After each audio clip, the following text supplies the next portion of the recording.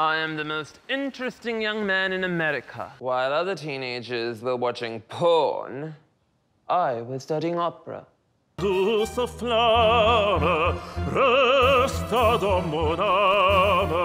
was like a prince in a modern fairy tale, offering all eligible gay men alive my hand and fortune if they passed my father's test. I'm to give you $10,000.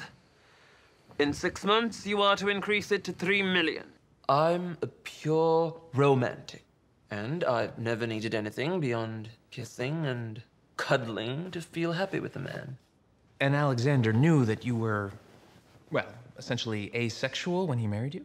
Every man I've ever gone out with on a date has known that. Oh, I, I, I, I find it. Scum!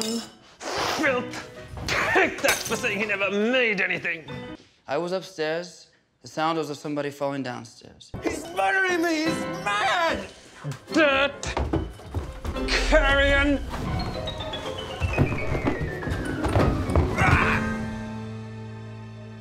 He may have broken some bones.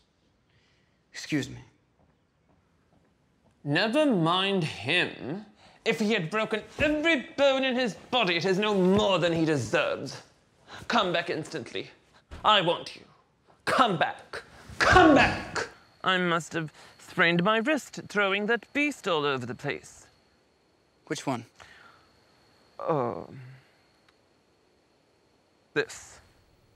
How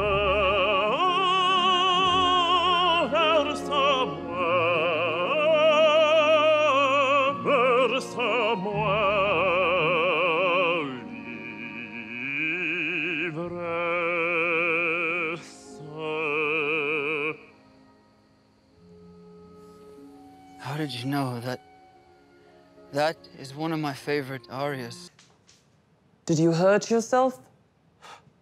Do you think your father's money places you above the law? Okay!